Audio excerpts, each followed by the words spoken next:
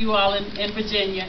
Um, I've done pretty much all parts of Virginia, but this is my first time to Newport News. Oh, okay. And um, I guess we'll just start by kind of telling you a little bit about our writing journey, about the books, and then, of course, take any questions that you may have.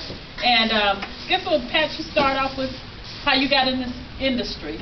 Okay, well, um, I started out as a self-published author, and for those of you who may not be familiar with that, that just means that basically I had been writing for a number of years, and I believed in my story, believed that I had a great story, and thought that all of you, my audience, the, the people that I write for, would enjoy the story.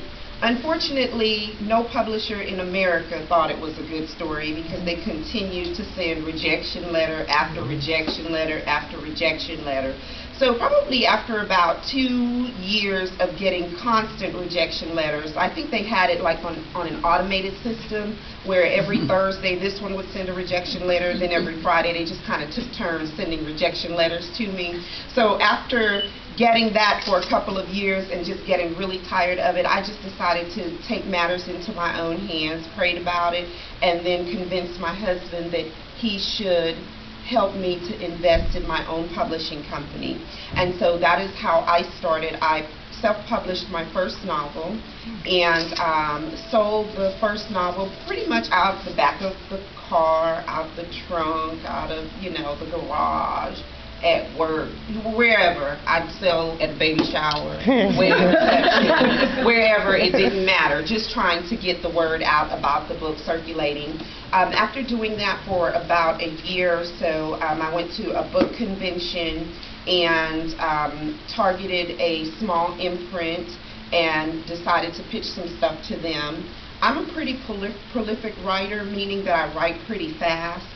And so um, I didn't have anything that would fit their lineup, so I went home and wrote something specifically for them and wind up signing a two-book deal with them that basically lasted a few years and turned into, um, I think I did nine, eight or nine books with them when it was all said and done. Um, the relationship didn't work out. Obviously, we kind of outgrew each other. And uh, I then left there and wrote this story. And wrote this story and got an agent. And the story just kind of sat for a little while, sat for a little while. And then finally, obviously got into the right hands because Zane has an imprint with Simon & Schuster that finally picked it up. And um, this is the story that you see here today. So my journey to publishing, to being a published author, because I've been writing all my life. I'm a journalist by trade. So from 9 to 5 I write, and then after I put my husband and the kids to bed, I write some more. So I tell people that, you know, I've, I've been writing from the day I learned how to write, and then was fortunate and blessed enough to be able to earn a living writing.